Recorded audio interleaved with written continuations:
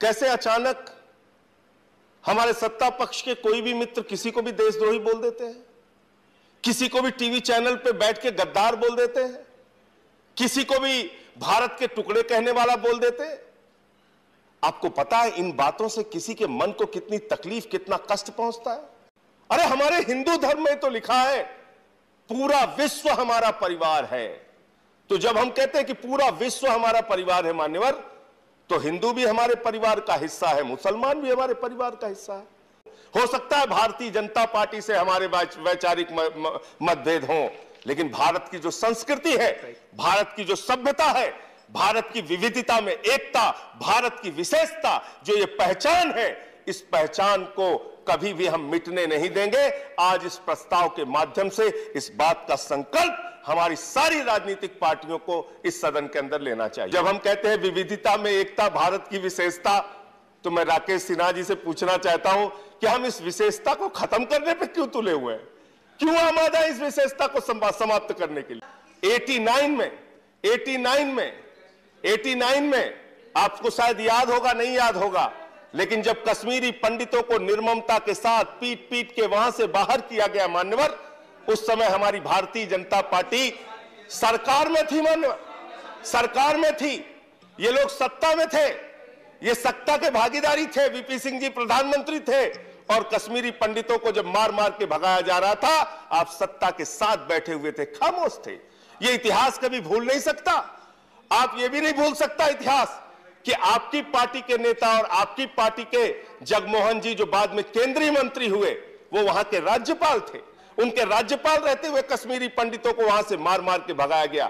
और यह भी इतिहास कभी नहीं भूल सकता। इसी सदन में आम आदमी पार्टी की ओर से मैंने मामला उठाया था कश्मीरी पंडितों के पुनर्वास की। कश्मीरी पंडितों के पुनर्वास के लिए सात वर्षों में आपकी सरकार ने क्या कदम उठाया? इस पे चर्चा कीजिए, इस पे बातचीत कीजिए। अरे वो भी एक संस्कृति है। वो भी एक संस्कृति है। वो भी एक क्षेत्र की संस्कृति है। वो भी एक हिंदू धर्म को मानने वाले लोग हैं उनकी। अब देखिए आप कश्मीरी पंडितों पे भी इनको समस्या है सर। कह रहा हूँ एक प्रस्ताव सदन में पास कीजिए। ये बहुत चर्चा का विषय है इस समय। सारे सांसद मैं तैयार हूँ। पाँच पाँच करोड़ की अपनी निधि एक साल की पूरी की पूरी निधि कश्मीरी पंडितों के पुनर्वास के लिए दीजिए। मैं तैयार हूँ, आम आदमी पार्टी की ओर से यह प्रस्ताव ला रहा हूँ आपके बीच में। ने मुझे इस महत्वपूर्ण प्रस्ताव पर अपनी बात रखने का मौका दिया। और जब मैं आ रहा था तो राकेश सिन्हा जी को मैंने टीवी पे सुनता हुआ आया। बहुत अच्छी अच्छी बातें, बहुत बड़ी बड़ी बातें इन्होंने की, सुन के अच्छा लगा। इनके मुँह से राष्ट्रपिता महात्मा गांधी का नाम, राष्ट्रपिता महात्मा गांधी के उदाहरण। यही तो भारत है मान्यवर आज, आज़ादी के 75 साल के बाद भी हम उस राष्ट्रपिता महात्मा गांधी की बात कर रहे हैं, उनके विचारों की बात कर रहे हैं, जिससे पूरे दुनिया में भारत की पहचान बनी। आप अमेरिका चले जाइए, आप रूस चले जाइए, आप लंदन चले जाइए, आप कनाडा चले जाइए, ऑस्ट्रेलिया चले जाइए, न्यूजीलैंड चले जाइए वह लोगों से आप कहिए कि हम भारत से आए हैं। वो भारत के प्रधानमंत्री का नाम शायद बाद में लेंगे। वो भारत के किसी पूर्व प्रधानमंत्री का नाम भी शायद बाद में लेंगे। वो सबसे पहले कहते हैं, आप गांधी के देश से आए। गांधी, जिसका मतलब अहिंसा। गांधी, जिसका मतलब एकता। गांधी, जिसका मतलब भाईचारा। गांधी, जिसका मतलब प्रेम। गांधी, जिसका मतलब सामंजस्य से समाज को लेकर आगे चलना। उस गांधी से पूरी दुनिया में हमारी पहचान बनी मान्यवर। और आज, इतिहास के तथ्यों की पड़ताल अगर हो रही है तो मैं आपसे कहना चाहता हूँ, मान्यवर, आज़ादी के आंदोलन में बहुत से लोगों ने राष्ट्रपिता महात्मा गांधी का साथ दिया, बहुत से लोगों ने नहीं दिया। आज़ादी के आंदोलन में, मान्यवर अलग अलग विचारधारा अलग अलग मान्यता अलग अलग धर्म अलग अलग जाति के लोगों ने एक लक्ष्य बनाया कि नहीं, भारत को आज़ाद कराना है अंग्रेज़ों से।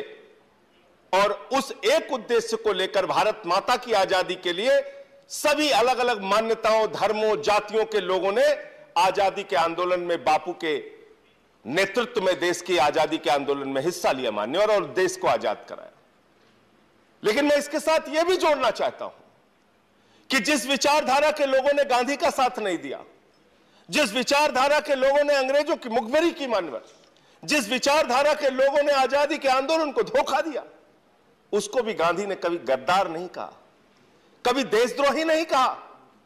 आज हम एक ऐसे समाज में रह रहे हैं, जहाँ फिर से आवश्यकता है उन गांधी की विचारधारा को स्थापित करने की।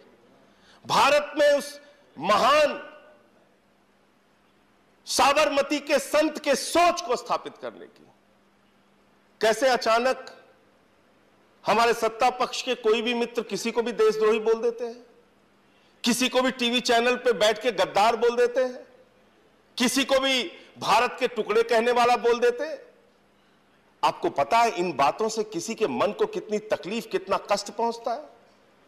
भारत पूरी दुनिया में जिस हिंदू धर्म की चर्चा स्वामी विवेकानंद ने की और उनके शिकागो के भाषण को अगर उठा के आप पढ़ेंगे तो उन्होंने हिंदू धर्म में अपनी आस्था का सबसे बड़ा कारण सहिष्णुता को बताया।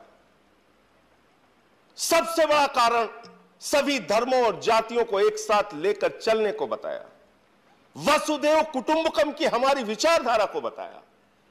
अरे, हमारे हिंदू धर्म में तो लिखा है पूरा विश्व हमारा परिवार है। तो जब हम कहते हैं कि पूरा विश्व हमारा परिवार है, मान्यवर तो हिंदू भी हमारे परिवार का हिस्सा है, मुसलमान भी हमारे परिवार का हिस्सा है, सिख भी हमारे परिवार का हिस्सा है, ईसाई भी हमारे परिवार का हिस्सा है, अगले भी हमारे परिवार का हिस्सा है, पिछड़े भी हमारे परिवार का हिस्सा है। और जब हम गर्व से भारत माता की जय लगाते हैं तो भारत माता की जय का मतलब 130 करोड़ हिंदुस्तानियों की माँ का जय लगाते हैं हम। 130 करोड़ हिंदुस्तानियों की। लेकिन मुझे अफसोस होता है, मुझे बहुत पीड़ा होती है, मुझे बहुत तकलीफ़ होती है जब भारत माता की जय लगाकर हम किसी जाति के खिलाफ नफरत फैलाने का काम करते हैं। जब भारत माता की जय लगाकर हम किसी धर्म के खिलाफ नफरत फैलाने की बात करते हैं।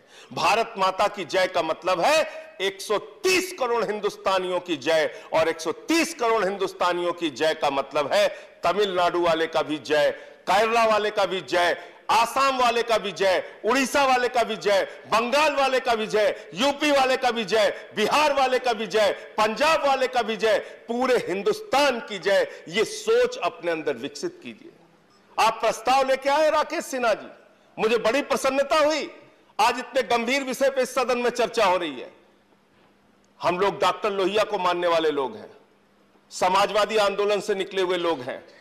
रघु ठाकुर जी के साथ हमने काम किया लंबे समय तक।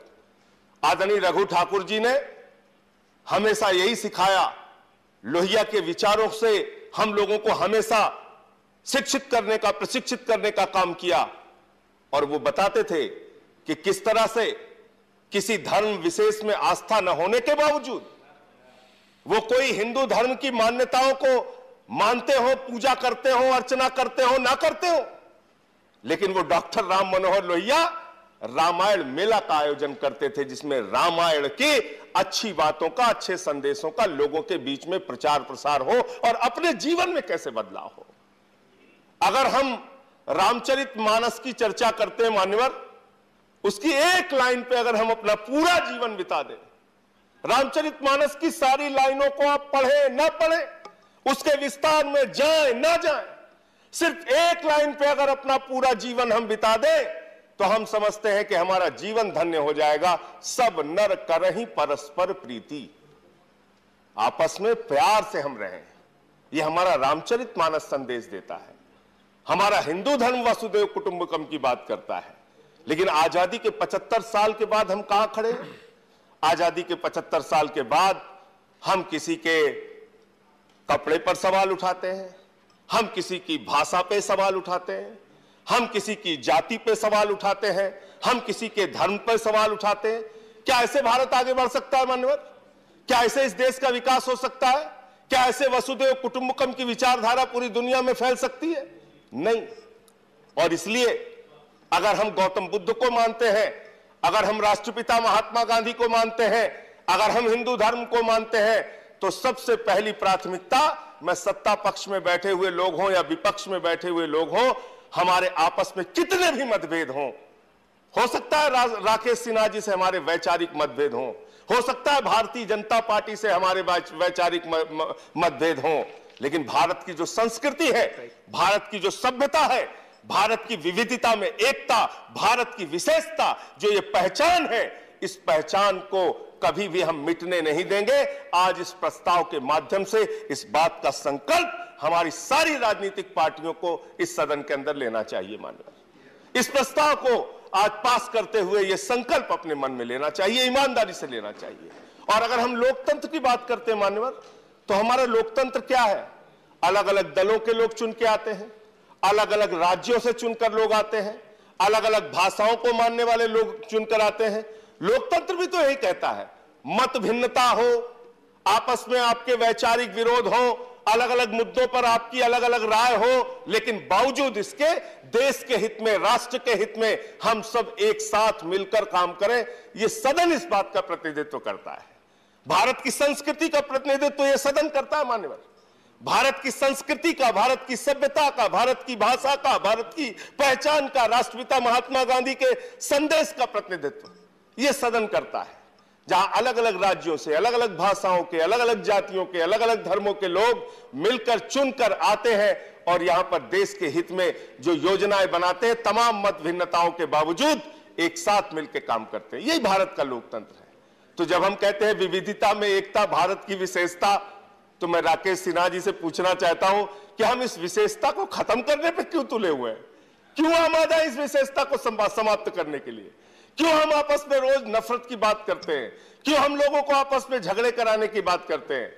ये बंद कीजिए। ये हमारी पहचान नहीं है। ये हमारी संस्कृति नहीं है। जिनका आप उदाहरण दे रहे थे, आज अपने भाषण में, क्या उनके उदाहरण से देश आगे बढ़ सकता है?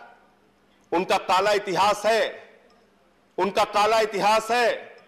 क्या उन्हीं काले इतिहासों को दोहरा दोहरा के दोहरा दोहरा के बातें करके, उन्हीं बातों को करके हम इस देश को आगे लेके जा सकते हैं। एक नए भारत की कल्पना जब करते हैं आप, जब आप श्रेष्ठ भारत बनाने की बात करते हैं तो आप भारत आज की परिस्थितियों में कैसे आगे बढ़ सकता है, इसकी चर्चा करनी चाहिए। कैसे हिंदुस्तान को नए रोज़गार के साधन मिलेंगे, कैसे अच्छी शिक्षा मिलेगी, कैसे कैसे अच्छे स्वास्थ्य की व्यवस्था होगी, इसके बारे में चर्चा करने की आवश्यकता है मानव। एक अभी फ़िल्म का, की चर्चा बहुत तेज़ी के साथ पूरे देश में है।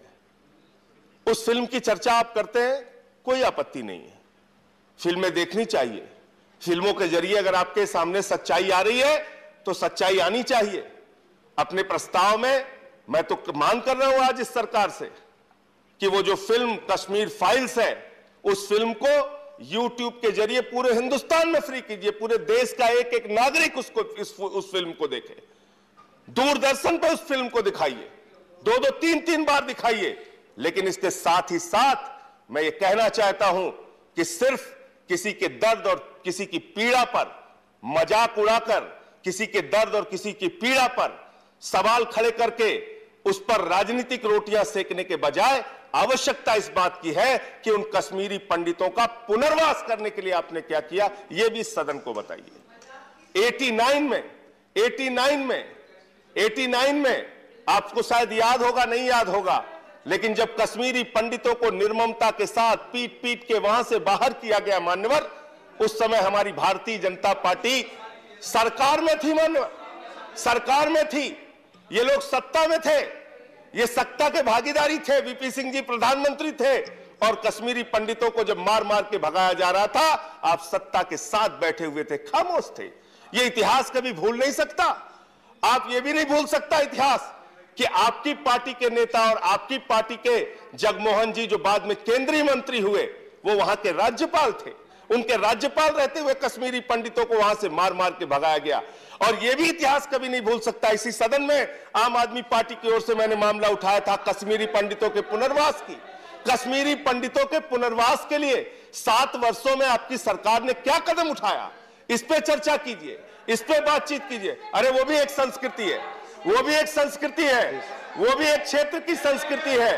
वो भी एक हिंदू धर्म को मानने वाले लोग हैं उनकी। अब देखिए आप कश्मीरी पंडितों पे भी इनको समस्या है सर। कश्मीरी पंडितों का पुनर्वास भी नहीं करना चाहते। सर यहाँ दूसरे विषय भी आए।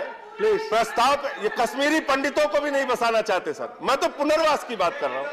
मैं तो कश्मीरी पंडितों जो के पुनर्वास की बोलना चाहते हैं, आप उन्हें समय दे रहे हैं। उस पर भी आपत्ति कर रहे हैं। आपने जो अरे आप नहीं करना कहना चाहते हैं, आपसे कुछ नहीं हुआ ये अलग बात है। लेकिन सुन तो लीजिए हमारी पीड़ा तो सुन लीजिए। कश्मीरी पंडितों के लिए आपने कुछ नहीं किया मैंने मान लिया। सुन तो लीजिए हमारी पीड़ा। आपको आपने कुछ देखे कश्मीरी पंडितों पे भी समस्या सर। कश्मीरी पंडितों की पीड़ा नहीं सुनना चाहते। मैं खत्म कर रहा हूँ सर। मैं समाप्त कर रहा. हूँ। मैं समाप्त कर रहा हूँ। मैं सर ये कह रहा हूँ एक प्रस्ताव सदन में पास कीजिए। ये बहुत चर्चा का विषय है इस समय।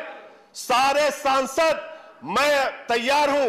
पाँच पाँच करोड़ की अपनी निधि एक साल की पूरी की पूरी निधि कश्मीरी पंडितों के पुनर्वास के लिए दीजिए। मैं तैयार हूँ आम आदमी पार्टी की ओर से ये प्रस्ताव ला रहा हूँ आपके बीच में। ठीक। बहुत बहुत धन्यवाद धन्यवाद। Subscribe now and press the bell icon. Never miss an update.